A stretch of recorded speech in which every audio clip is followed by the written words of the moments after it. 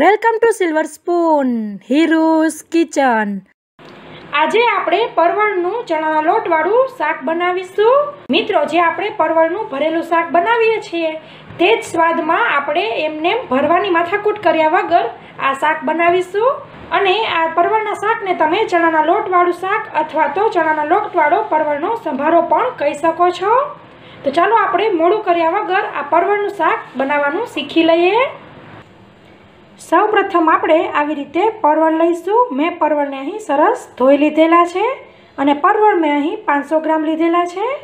હવે તેને આપણે સમારી લઈશું. તેના માટે આવી રીતે પરવળને લઈ આમ ઉપરથી કટ કરી લેવું અને નીચેથી કટ કરી લેવું અને પછી આમ હાફ કટ કરી આમ પાતળા પાતળા ચીરિયા કરી લેવા. મિત્રો, તમે અહીં પરવળની છાલ પણ કાઢી શકો છો. હું અહીં છાલ નથી કાઢતી.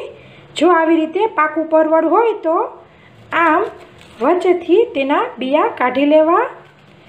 આવી રીતે જો પાકા બિયા હશે અને જો તેને આપણે શાકમાં યુઝ કરીશું, તો આપણને મજા નહીં આવે. કડકડ અવાજ આવશે ચાવવામાં મજા નહીં આવે. પછી પાછા આવી રીતે તેને પાતળા પાતળા કાપી લેવા, જેમ આપણે ટીંડોળાને ચીરતા હોઈએ છીએ તેવી જ રીતે કોઈક આવી રીતે યલો એટલે કે પાકું પરવળ આવી ગયું હોય, તો પણ તેને આમ વચ્ચેથી કાઢી લેવું.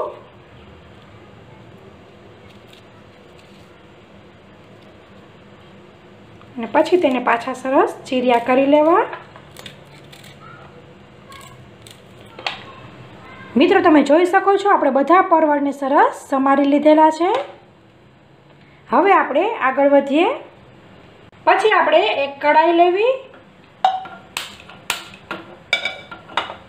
અને ગેસની ફ્લેમ ચાલુ કરવી. અને તેની અંદર આપણે ચણાનો લોટ ઉમેરીશું. ચણાનો લોટ હું અહીં ટુ ટેબલ સ્પૂન યુઝ કરું છું. અને તેને સરસ સુગંધ આવે ત્યાં સુધી અને કલર ચેન્જ થઈ જાય ત્યાં સુધી શેકી લેવો. મિત્રો, ચણાના લોટમાંથી સરસ સુગંધ આવવા લાગી છે અને તેનો કલર પણ સહેજ ચેન્જ થઈ ગયો છે. ગેસની ફ્લેમ બંધ કરી લઈશું. અને તેને આપણે એક બાઉલમાં કાઢી લઈશું. પછી તે જ કઢાઈને લૂછીને પછી તેમાં આવી રીતે હાફ કપ સિંગદાણા લેવા અને તેને સરસ આવી રીતે હલાવીને શેકી લેવા.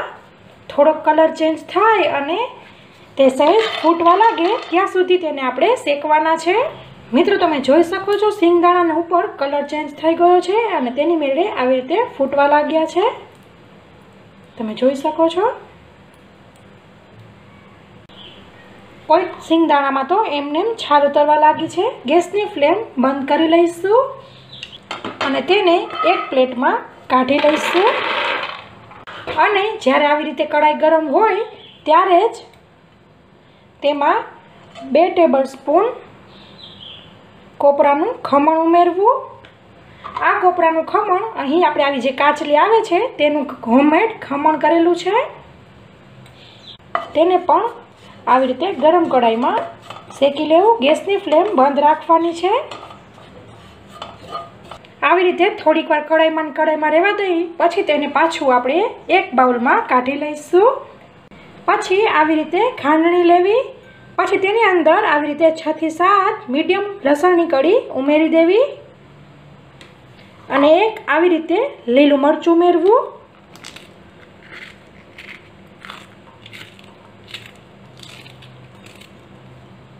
અને તેને આપણે સરસ ખાંડી લઈશું.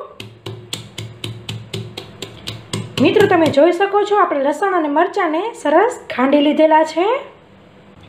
પછી તે જ ખાંડણીની અંદર આપણે જે સિંગદાણાને શેકીને ઠંડા થવા રાખેલા હતા, તે સરસ ઠંડા થઈ ગયા છે, તેને લઈ લઈશું. જો તમારે ફોતરા તેના કાઢવા હોય, તો તમે ફોતરા કાઢી શકો છો. હું અહીં ફોતરા નથી કાઢતી. અને તેને આપણે ડાયરેક્ટ ખાંડી લઈશું. આપણે તેને આખું પાખું ખાંડીશું. એટલે તેને આપણે મિક્સરની અંદર પાવડર નથી કરતા. તમે જોઈ શકો છો સિંગદાણા સરસ આખા પાખા ભૂકો થઈ ગયો છે. પછી તેજ કઢાઈ લઈ તેની અંદર હાફ કપ તેલ લઈશું. આવી રીતે તેલ ગરમ થઈ જાય એટલે તેની અંદર એક ટીસ્પૂન રાઈ ઉમેરીશું. રાઈ આવી રીતે ફૂટે એટલે તેની અંદર એક ટીસ્પૂન જીરું ઉમેરીશું. ગેસની ફ્લેમ સ્લો કરી લેવી. ચપટી જેટલી હિંગ ઉમેરવી. અને જે આપણે લસણ અને મરચાંની પેસ્ટ બનાવેલ હતી તે ઉમેરી દઈશું.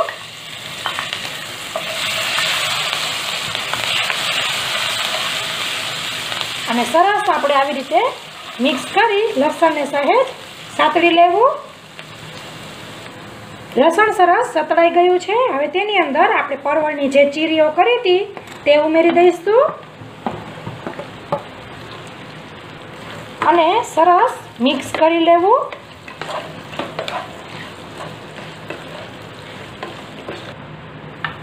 પછી ગેસની ફ્લેમ ફાસ્ટ કરી લેવી.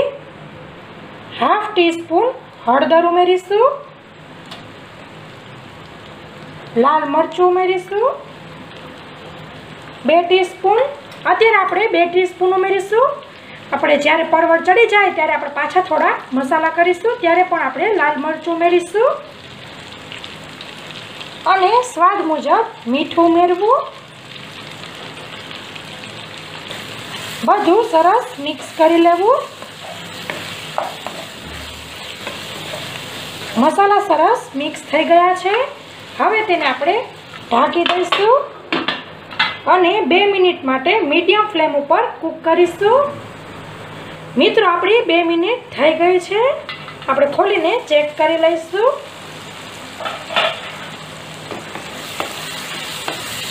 એક વખત બધું સરસ મિક્સ કરી લેવું.